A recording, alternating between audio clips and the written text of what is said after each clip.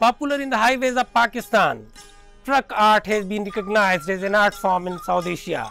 While the world has acknowledged truck art, it is still completely unaware of the art that floats on the sea waves. Let's meet some great artists in the creeks of Karachi.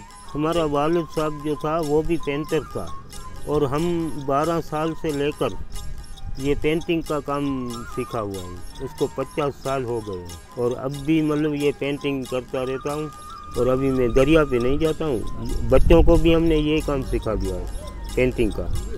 पंद्रह painter हैं जो इधर कश्तियों का colour संभालते हैं।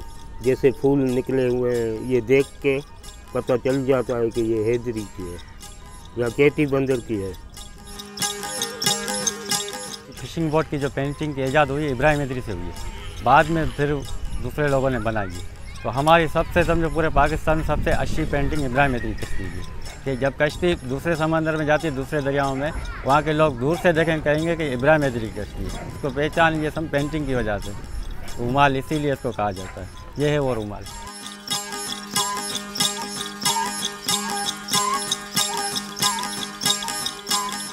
Truck art और ये हो सकता है ये बहुत करीब करीब भी हों। चूँकि इस कश्ती की शेप थोड़ी सी डिफरेंट होती है तो कश्ती के हिसाब से ही आपको मुख्तलिफ़ मुख्तलिफ़ आपको डिज़ाइन मिलेंगे। दूसरा, इनके पैटर्न्स वो काफ़ी डिफरेंट आपको मिलेंगे। फिर उसके अंदर जो इम्प्रोवाइजेशन ये लोग करते हैं वो बड़ी मज़े की बात है। यानी एक इसको ये रुमाल कहते हैं वो इनका ख़ास निशान है। उस रुमाल के अंदर आपको जितनी वैरायटी मिलेगी हर कश्ती में आपको कहीं ना कहीं थोड़ा बहुत आपको इम्प्रोवाइज़ किया हुआ मिलेगा। बेशक ट्रक आर्ट अपनी जगह पर लेकिन मुझे लगता है बोट आर्ट भी एक उतनी ही इम्पोर्टेंट सिंफ है जिसको अभी तक हम लोगों ने देखा नहीं था। Intricate colors, fine brushwork, and traditional pattern adorning these fishing boats at the Karachi's coastline.